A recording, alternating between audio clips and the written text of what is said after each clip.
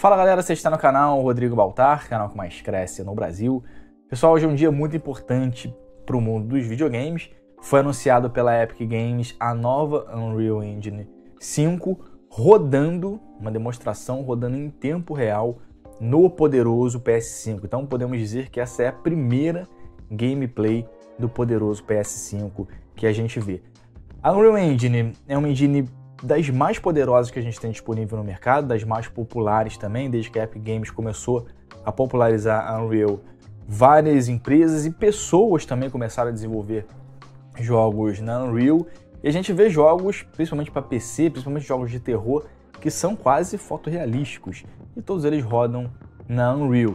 A gente também vê grandes clássicos, como por exemplo o Gears of War, que sempre rodou em cima da Unreal. Falando em Gears of War, o Xbox Series X, console mais preparado para a próxima geração com 526 TB de encryption, também vai suportar, é óbvio, a Unreal Engine 5, assim como o nosso glorioso PC. Então vamos dar uma olhada aqui no que a Epic Games preparou para gente nessa primeira gameplay do poderoso PS5. Se inscreve no canal se você não é inscrito, dá uma olhada nos nossos patrocinadores nos links da descrição a Terabyte está com uma promoção de SSDs bem bacana, se você puder comprar utilizando o link do canal.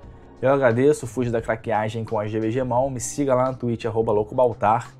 E vamos lá pro vídeo.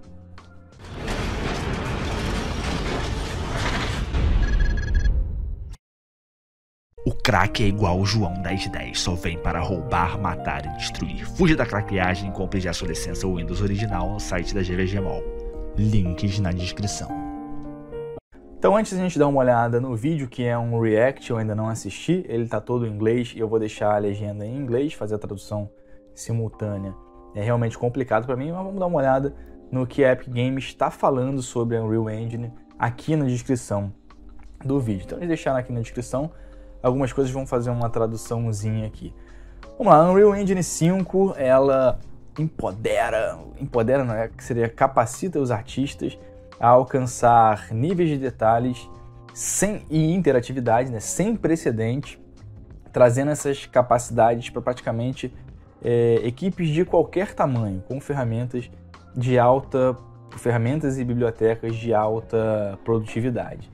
Vamos lá, juntamos o diretor técnico é, Brian Carris e também o diretor de arte Jeremy Platux para dar uma olhada mais profunda em Lumen and the Land, Lumen in the Land of Nanite, né? Real Time Demonstration Running Live on é, uma demonstração em tempo real rodando no PS5 mostrando tecnologias que vão iniciar na Unreal 5. Então a gente tem o, o Nanite, é, uma virtualização de polígonos, de geometria de polígonos, que vamos lá, que libera os artistas a criar geometrias e detalhes que máximo de geometrias e detalhes que os olhos podem ver. E a Lumen, uma uma uma completa iluminação, solução de iluminação global que reage imediatamente à, à mudança da luz nas cenas. E também está presente na demo no, uh, as features né, que está da Unreal 4.25, Niagara VFX Improvement, a física Chaos and Destruction, e sistemas de animação melhorados, sistema de áudio melhorado, temido áudio 3D do X, e também suporta né, o suporte aos consoles de nova geração. Então vamos lá dar uma olhada nesse vídeo da Unreal Engine 5. Hello, I'm Brian Karras, Technical Director of Graphics here at Epic Games. Hi, I'm Jerome Plateau, Art Director of the Special Project. A few years ago, we got together as a team and brainstormed where we thought we could push forward state of the art in real time graphics. There were two key areas that stood out. The first, dynamic global illumination, beautiful bounce lighting instantaneously. I don't have to be constrained to do a game where the world has to be static, and I'm able to iterate a lot faster. And we call this new system Lumen. We're about to show you what it is capable of. But first, there was another area that we thought we could push forward truly virtualized geometry. The artist wouldn't have to be concerned over polycounts, draw calls, or memory. Could directly use film quality assets and bring them straight into the engine. And that's a big deal for artists. I just want to be able to import my ZBrush model, my photogrammetry scan, my CAD data without wasting any time optimizing, creating LODs, or even lowering the quality to make it hit frame rate. In the end, that's what it's all about art that just works. And we call this new technology Nanite. Here is the future of Unreal Engine running live on a PlayStation 5. Awesome. Let's take a look at it. Então, lá, então eles falaram bastante coisas aqui, né? Falaram sobre o novo sistema de geometria, que é possível milhares de milhões de, de polígonos, né? Falaram sobre a importação do ZBrush. O ZBrush é um software de modelagem 3D que quando você faz, pelo menos o que ele disse aqui, quando você faz a importação, ele parece que perde um pouco de qualidade, então é, eles conseguiram fazer essa importação sem a perda de qualidade e também falaram do Lumen, da iluminação global, dessa nova iluminação global. Vamos dar uma olhada como é que tá essa parada. Eu ainda não vi, pô, ainda não vi, pô, vamos lá. O Poderoso 5, maluco. Nossa, mano! Que gráficos incríveis, mano!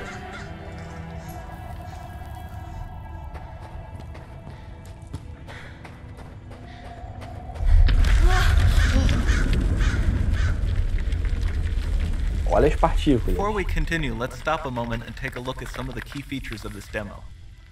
Much of what you see was built with Quixel Megascan assets, but instead of using the game versions, we used the cinematic versions which would typically only be used in film. There are around a million triangles each, and thanks to virtual texturing, they all use 8K textures as well. Nanite can render an insane number of triangles very quickly. There are over a billion triangles of source geometry in each frame, that Nanite crunches down losslessly to around 20 million drawn triangles. What does that many triangles look like? This isn't noise. These are the triangles, each a different color. Most are so small that they look like noise. Nanite achieves detail down to the pixel, which means triangles are often the size of pixels. This amount of geometric detail requires shadows to be pixel accurate as well, and Nanite can do that too. Speaking of lighting, all of the lighting in this demo is completely dynamic, with the power of Lumen that even includes multi-bounce global illumination. No light maps, no baking here. Without GI, all of that beautiful lighting is gone. With Lumen enabled, we can move the light and the bounce changes instantly. Okay, let's keep going. pica, mano. Esse Poderoso 5 é uma pica, hein? E tá rodando a 30 quadros. Né? We've made some great additions to our audio system as well. Convolution reverb allows us to measure reverberation characteristics of real spaces, Reverberação, like actual caves that we sampled, and reproduce them in virtual spaces. Sound field rendering allows us to record and playback spatialized audio. Olha isso. Som 3D do X.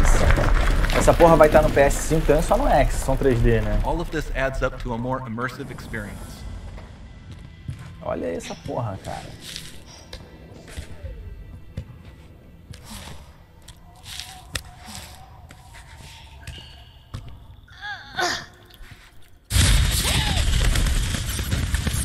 This swarm of bats was created with our Niagara effects system. Particles in Niagara can now talk to one another and understand their environment like never before. Cara, as partículas, podem se comunicar para que não não haja We've also acredito added a ton of que new functionality to run fluid simulations like you see in the water uma não passe pela outra, né? Ih, caralho, vai escalar, mané. Vai permitir a escalada no X agora, mano. Que o X não tinha escalada, mané. Se bem que esse aqui é no poderoso. Todos os bonecos escalam igual o Drake, né? Here we are using it to accurately simulate the rigid bodies of the falling rocks and the cloth of her scarf. Olha a paradinha ali, o lenço dela, né? Esse cachecol dela. Que não ultrapassa, não atravessa o, o boneco, né?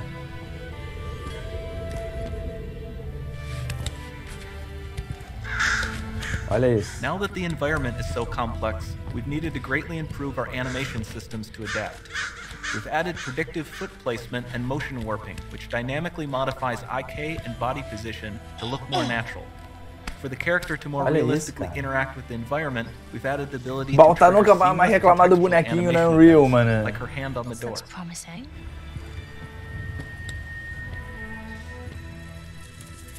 Dynamic GI is amazing, not just for speeding up iteration, but also for its impact on gameplay.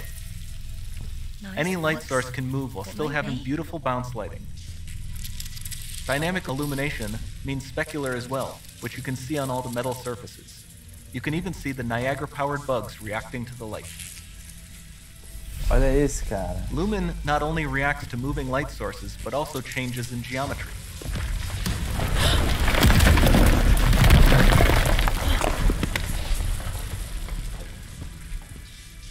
Remember we mentioned high poly assets?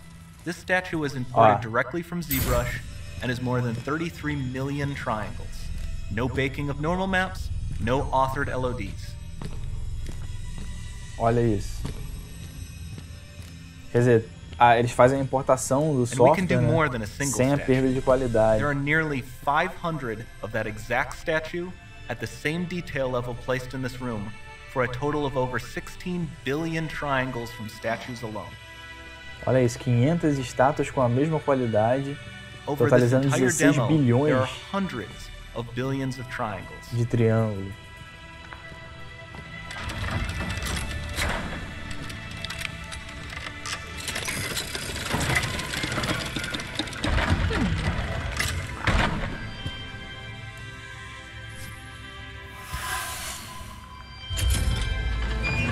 No, tá no poderoso mesmo, viu o X ali, mano?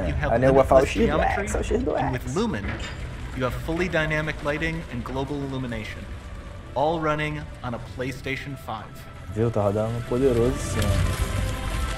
Olha isso. Imagina que a Naughty Dog não vai fazer fazendo crunch nos caras, hein? Os caras não vai sair lá do Naughty Dog, maluco.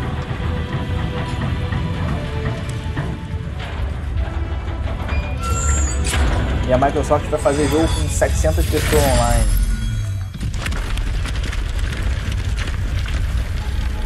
Olha as partículas, as partículas são There's not much time left. And this doesn't need to be constrained to small rooms. It can stretch all the way to the horizon.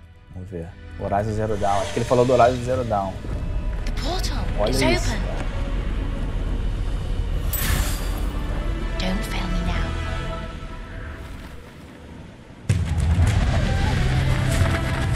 Caralho, olha isso, mano. Sem tempo real, Silvio. Quer dizer. No princípio é, né?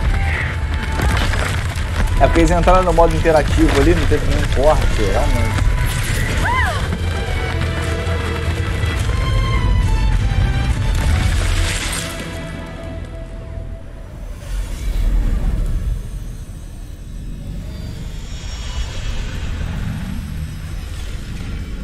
Time to see what's next.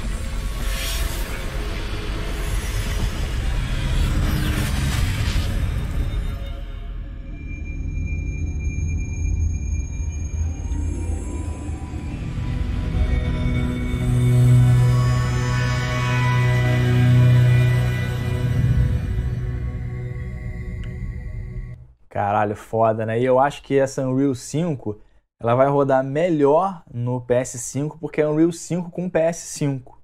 Né? E no caso do, do, do Xbox Series X, o console mais preparado para a próxima geração, não tem essa porra de número. Só tem lá 526 terabytes de encryption.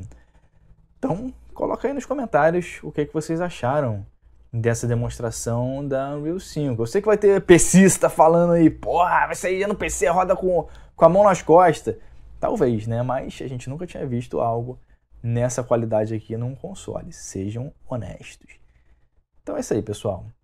Um grande abraço a todos. Até a próxima e vamos ver.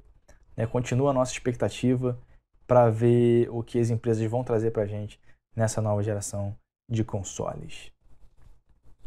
Fui.